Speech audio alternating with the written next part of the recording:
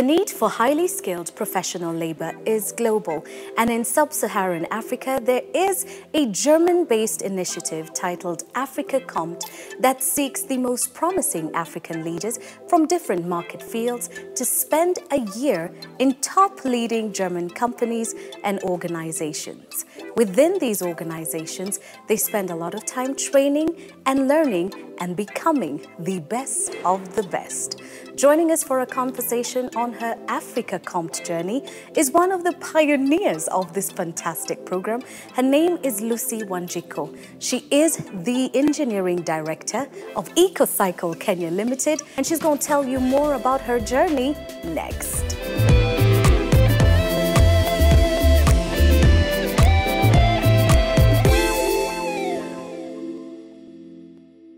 Did you always know you were going to be a mechanical engineer? You know, I was born with four brothers. I'm the only sister. So every time they were fixing toys, and we grew up in the village, so our toys would be made of uh, waste paper or uh, uh, timber or pieces of metal or those um, tin blue band tins that used to be then. So when they were fixing their toys, I was always fixing with them. So it's like it was destined and I used to enjoy it. I was never this gully gully dolly girl. Right. I was just this rough girl with the four boys and fixing toys, going up the trees and in the farm. And maybe I just think it was destiny and it shaped me. I'm sure going through high school, going through university, and saying, This is the course that I want to take, this is where I want to go, you got a lot of support from your family. Coincidentally, or uh, finally, my mom wanted me to be a doctor. But deep inside me, I, I felt I was not comfortable dealing with sickness and patients. And I always told her I just want to be an engineer. So I made the first choice as a doctor, but all the other following choices, I chose three different engineering courses. And so when the results came and I had an A minus, voila, I was there called for engineering and I was so happy. I don't know whether my mom was disappointed, but um, later when I continued, continued doing it, she was happy with it because when I came back from university, I would even help fixing a few things in the home, like the solar panel has an issue. I would be there keen trying to see what can be done before she even calls a, a, a, fundi to come and do it. So I believe she's happy with it, although she wanted me to be a doctor. And yeah. she was a teacher, a, a, teacher, so she's flexible. I think she moved on and accepted it. You finished campus, you've got your degree. How did Africa Kommt come to you? Immediately I finished university in 2004, I was very interested in joining automotive. I was very keen on automotive engineering. So the first place I landed was DT Dobie on internship. So I was dealing with parts, selling of parts and servicing of cars. And I continued being in automotive for about, I moved from DT Dobie, I went to Toyota, I went to GM. Then later I decided to shift uh, gear to selling engineering software that is called AutoCAD. That was about four years later in 2008. So when I was selling the engineering software as a technical sales engineer, that's when I came across the Africa Kommt Initiative advert.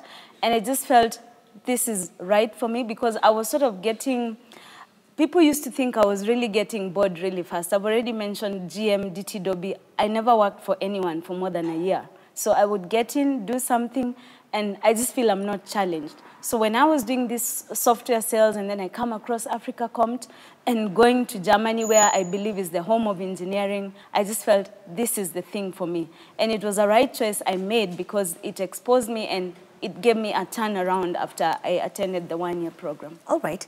You've talked about Africa Kommt. There are many who are thinking, we don't know what that is. So help us understand a little bit more about Africa Kommt. And you were part of the pilot program, so what was it all about? Africa Kommt is a German statement, but in English it means Africa is coming or Africa is rising. So Africa Kommt focuses on picking young, talented, future potential leaders from Africa, people who have already worked for two to three years.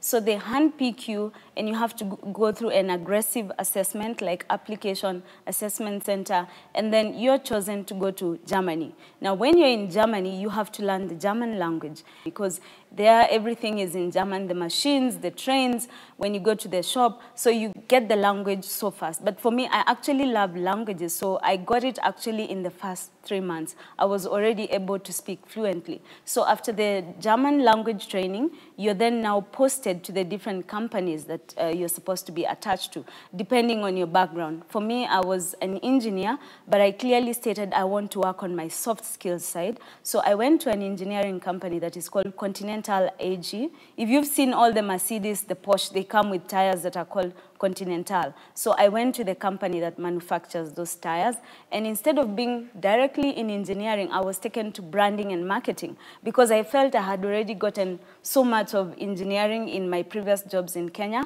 and I felt like I need soft skills so that I blend my engineering with marketing, branding, and then if I want to do anything, start my own company, then I will have like an all-rounded uh, scheme person.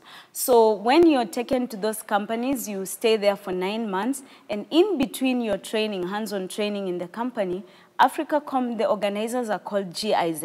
They pick you for about two weeks or one week and take you into a class set up together as a group, and you're given themes on international leadership, communication skills, you know, all, all those soft skills that are needed for management. Okay. So that's the journey, basically the journey of Africa Kommt, and they would like you to return back to your country once you're done with the program because they want people to come back and make an impact back in their countries. So the year was over and you came back home. Yes, yes. How long have you has it been since you came back home? I came back in 2009. Actually, I must commend that uh, wherever I was working, when everybody else was coming back home, I got a one month extension because my company said I was doing an excellent job on the project that I was working on and they needed me to continue and finish for one month. So that is special. Every, after the training, everybody must come back home. But for me, I was given this one more month extension. And sort of if I wanted, probably I could have gotten a job, but I was keen on, on coming back home. So I came back in 2009 okay, yes. you're coming back, you've been in a developed world, everything works, and here you are, you've got the skill, the soft and the hard skill, and you're in Kenya. And what did you do next? Go and look for another job or begin to think about what can I create? I had seen quite a lot of things while I was out here, out there. Although I was based in this tire company, I had gained a special interest because I used to really love visiting the parks when I was in Germany. So one time at the park in my town, Hanover, I just got curious about some fountain that was somewhere. So I remember speaking to one of the park attendants, so how, how is this fountain working? Where does the water come from? And they mentioned it's actually wastewater that has been treated and comes back. Wastewater means sewage. So sewage has been treated and comes back to make fountains. So from the time I was in that park, which was at the beginning of my program, I got this interest about wastewater, managing parks and, and having greeneries out of wastewater. So I did a lot of research despite not being in a wastewater company. I even attended trade shows and trade fairs that were exhibiting wastewater uh, concepts. So by the time I came back, although I was in this tire company, I had a feeling I need to do this thing back in Kenya because when I think of my city, I will come across sewer flowing in a channel. I'll come across a burst sewer. So I just felt like I went out and I found the solution. But now here I was with, with the solution, but I do not have capital. So what did I do? Coincidentally, when I arrived, another person who is an alumni from Moi University, a civil engineer, was also coming back to Kenya after having been exposed in America with the American Army, working with waste, being a civil engineer in, in, in America. So coincidentally, he tells me, I'm coming back to Kenya and I want to start this concept. I want to introduce this concept of machines that recycle sewage back to clean water. I said, I've been thinking about the same thing. So can I come work with you? He said, fine, when you arrive, uh, uh just come. Fine. I asked, what's the salary? Actually, it was not even going to match what I was earning as an intern in Germany, but I knew this is what I want. So I said, fine, whatever you pay me, I'm really interested about this concept. I'm going to come and we're going to work with you. So guess what? Our first project was Enashipai Spa. Oh, the wow. Enashipai Spa in Naivasha. Naivasha. It's a project that recycles all the waste from all those hotels, about 1,500 liters every day of sewage, changes back to clean water and it's used, the green lawns you see in Enashipai is Right. courtesy of reclaimed water. And that was my first project. I was very amazed. I, I did it from the manuals because even the Americans didn't come to train us. But I remember my boss asking me to read the manuals, understand the, how the things will be joined. And I oversaw it successfully. And when the, uh, jam, uh, when the Americans came now to inspect, they were like, we are so amazed. We found only just one thing that had not been done correct, but it's like 99% well done. So just by that project alone, I felt like I'm actually an expert in this thing. So it kept me moving. Before long, I was poached by another company that was doing the same. They, uh, they were actually the pioneers of wastewater in Kenya. So I got another offer, which was a better pay than what I was having. So I moved to them. Uh, I worked with them. I did a couple of projects. And again, I'm this person that just never settles. Yeah. Before long, I was out of that company. And I was poached by another person in 2011. So I worked for them for about two years. I helped them introduce other machines from the US.